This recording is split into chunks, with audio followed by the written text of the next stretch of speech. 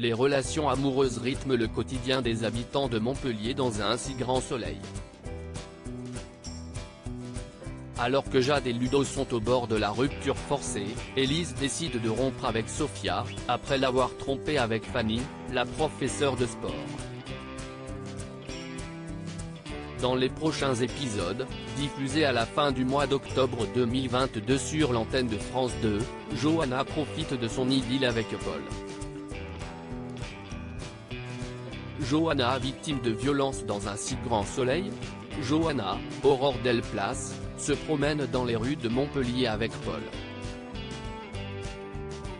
Il dit qu'il est en train de travailler sur un immeuble autosuffisant en énergie.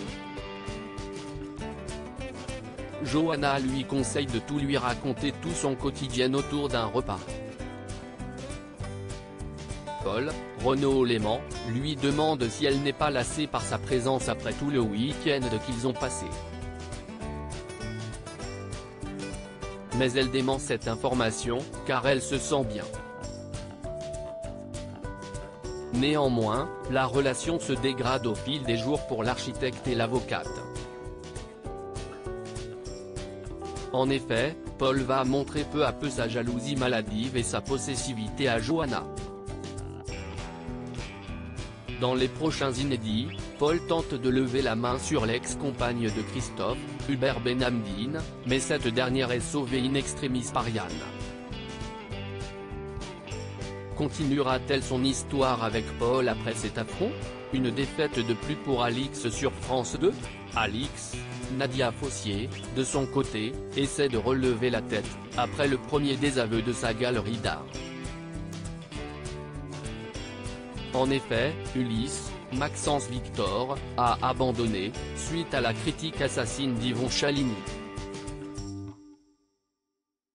En quête d'œuvres à exposer, elle fait la rencontre de Daniel Brena et elle installe les peintures de son père dans son local. Elle organise dans la foulée un vernissage avec la présence de Guillaume. Il est intéressé par les toiles du peintre et a jeté son dévolu sur l'une d'entre elles. Guillaume, Manuel Blanc, en demande alors 15 000 euros à Alix. L'avocat souhaite de la discrétion puisqu'il en fait un cadeau pour Sylvie, Olivia Bruno, sa femme, à l'approche de son mariage. Mais les peintures vont faire l'objet d'une enquête à cause de Marc.